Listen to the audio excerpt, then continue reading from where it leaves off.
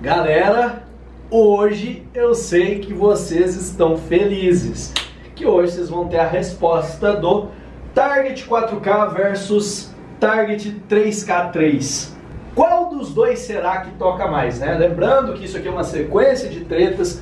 A treta do vídeo anterior foi essa aqui, o Hertz 3K7 com o Taramps 3K7, tendo o Taramps levado por uma diferença mínima aqui, mas é o Taramps 3K7 que vai disputar com o vencedor dessa treta. Vocês entenderam ou não? Quem ganhar aqui, ó, 4K ou 3K3, vai disputar na treta do próximo vídeo com o Taramps 3K7.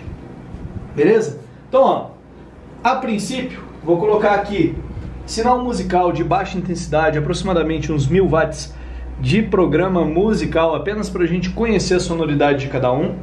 Vou trocar de microfone, ó. Vamos lá. Troquei de microfone, o cameraman vai segurar aqui e vai ficar posicionado de modo que dê para mostrar qual dos dois falantes está tocando. Vou começar aqui pelo Target 4K. Um, dois, três e.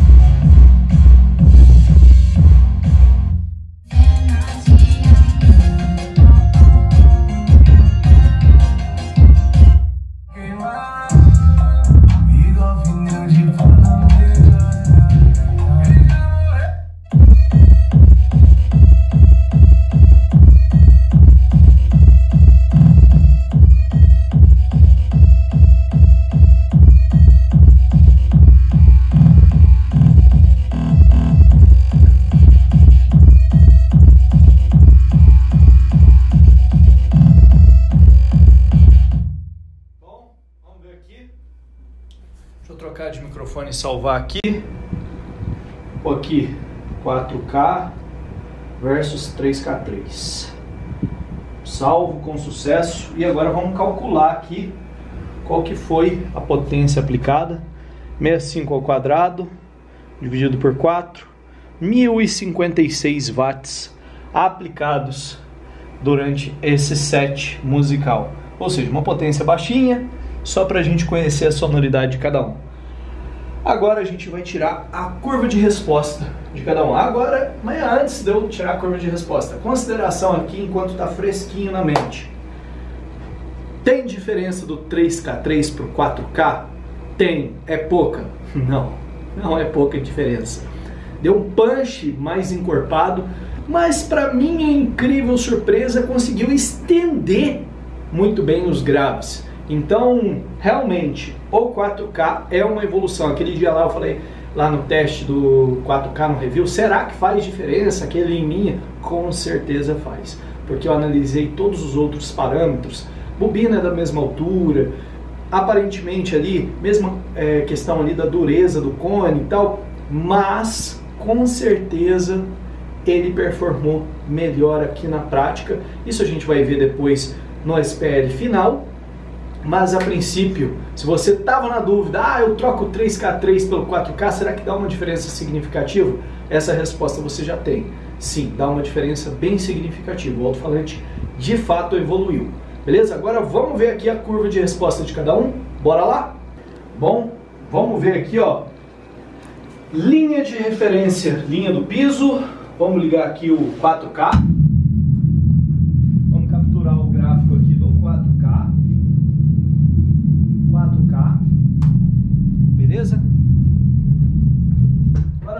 Novamente aqui, linha de referência do piso, centralizado ali com o meio do 3K3, vamos capturar. Resposta do 3K3.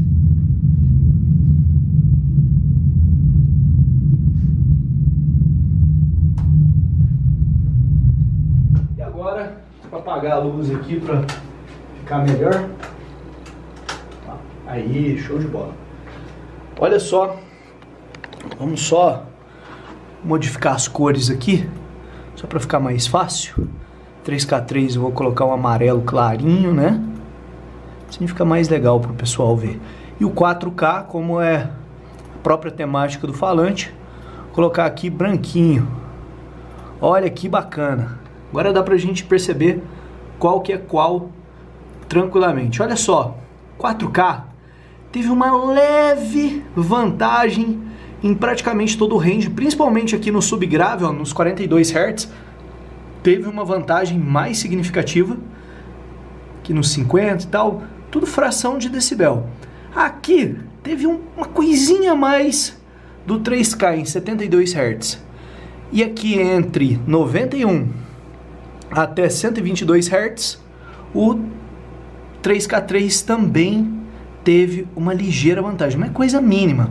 No mais, o 4K aqui no gráfico se sobressaiu principalmente nas altas, ok? Então, pancadão, 4K sem dúvidas. O pico máximo aqui de SPL nesse sinal de ruído rosa baixinho foi do 4K, mas isso não define a treta, tá? A gente vai ver depois no RTA 30, que lá sim é que a gente separa os homens dos meninos. Mas a princípio, olha só, bem bacana, resposta bem parecida. Ah, Bruno, qual que é melhor? Deixa eu acender a luz aqui novamente. Qual que é melhor? 4K ou 3K3? Até agora, praticamente em todos os cenários, o 4K se saiu melhor. Vamos ver na hora que a gente aplicar os 4.000 watts em programa musical, se ele vai abrir o bico ou se ele vai aguentar legal. E o 3K3, será que ele vai performar melhor quando a gente aplicar mil, aliás, 3.300 em programa musical? Bom, a gente vai descobrir isso agora. Bom, galera, agora aqui, ó, linha de referência no piso, ok? Tudo belezinho, microfone posicionado, a gente vai começar pelo 3K3. Vamos calcular aqui qual tensão que a gente vai aplicar nele. Olha, ele é 3.300 watts, 3.300 vezes 4. E agora a gente tira aqui a raiz quadrada. 114.89 volts aproximadamente. Aqui, ó, vou ligar o peak hold. Olha só, vou mostrar aqui. Vou colocar aqui o SPL para ficar mais fácil. E liguei aqui o peak hold, que aí a gente vai ver o pico que vai situar. Dá para a gente ver de longe, ok? E aqui, vamos pegar a máxima aqui só para ver quanto que está indo pro alto-falante. Posicionei a chave aqui do treteiro pro 3K3 e vamos iniciar. Dois, três e...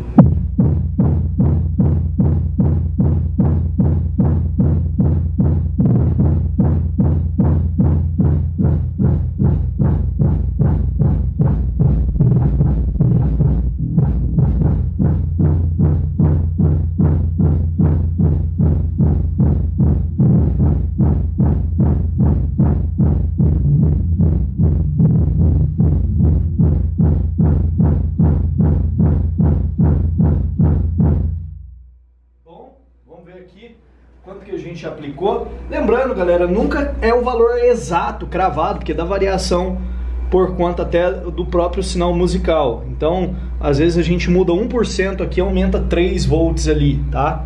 Então, vamos ver aqui, 117.4 ao quadrado, dividido pela impedância nominal, que é 4 ohms, 3.445, bem próximo ali do 3K3 em sinal musical. Não deu cheiro de queimado, não deu nada, e ele deu 135.3. Então já vou anotar aqui, ó. Era o Target 3K3, deu 135.3. OK? Será que ele vai ganhar do 4K? Vamos ver aqui como é que vai ser. Agora eu vou ajustar aqui para potência chegar aos 4K de programa musical e a gente vai repetir o teste aqui no falante de 4K. Beleza? Então vem cá para vocês acompanhar como é que eu vou fazer esse ajuste. Vou resetar aqui o multímetro, coloquei a mesma música para tocar e coloquei para pegar o pico máximo e vou deixar aqui até dar um pico aí de uns 126 volts, que seria o necessário para dar os 4K. Ó, ergui o ganho aqui do processador. Aí, beleza, beleza. Pausei aqui. E agora, ó, como é que ficou o ganho do processador? Ficou bem mais alto, né, naturalmente. Agora eu vou zerar aqui o pick hold para pegar de novo da onde iniciou, pronto. E agora aqui, ó, vou posicionar aqui no sentido do 4K direitinho, com a linha de referência do piso. E agora, vou zerar aqui o multímetro novamente e vou colocar para pegar a máxima aqui no multímetro. Certo? Ó, zerei, ó. Zerei novamente e coloquei para pegar a máxima. Agora, Vou ligar o treteiro aqui selecionando a chavinha no 4K, certo? E vou dar o play novamente.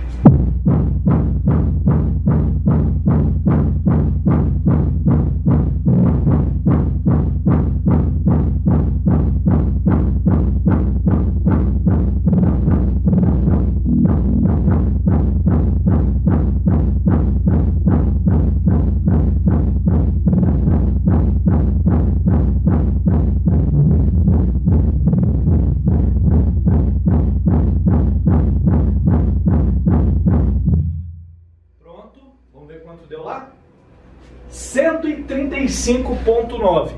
É aquilo, ganhou por frações de decibéis, mas ele ganhou. E vamos ver qual a potência que foi aplicada aqui. Vamos ver aqui, 128.1 ao quadrado dividido por 4. 4.100 watts em programa musical, igual eu falei, bem próximo ali do que ele declara em programa musical, tá ali na risca.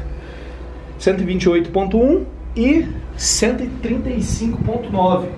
Então aqui, ó, galera, quem levou essa foi o 4K. Aí muita gente já pergunta, ah, mas se ele ganhou, por que, que já não classifica ele como vencedor aqui? Porque o Taramps 3K7 deu 135 na outra treta porque isso aí pode mudar de acordo com o ambiente, de acordo com a temperatura que está aqui do ar. Então é natural que na outra treta o outro deu uma fração de decibel a mais. Na hora que a gente põe frente a frente, pode acontecer uma virada em virtude dessas variações. Até porque a diferença é muito pequena, é fração de decibel e não propriamente dito um decibel, dois decibéis de diferença. Então aqui vai disputar com o Taramps 3K7 o Eros 4K. Certo? Então aqui, ó, Eros 4K levou, vai disputar com o Taramps 3K7 no próximo vídeo. E aí, qual será que vai ganhar? O Eros 4K ou o Taramps 3K7? Eu não faço a mínima ideia. Por mais que ele tenha tido uma performance superior em virtude aqui, talvez da temperatura, do vezes o horário que a gente está aqui, a umidade do ar mudou, então tudo isso influencia no resultado. Então a gente só vai saber qual que vai ganhar de verdade a hora que a gente colocar um do lado do outro e ver qual performou melhor. Vamos lá então? Vou ficando por aqui, aquele abração, fica com Deus e até a próxima.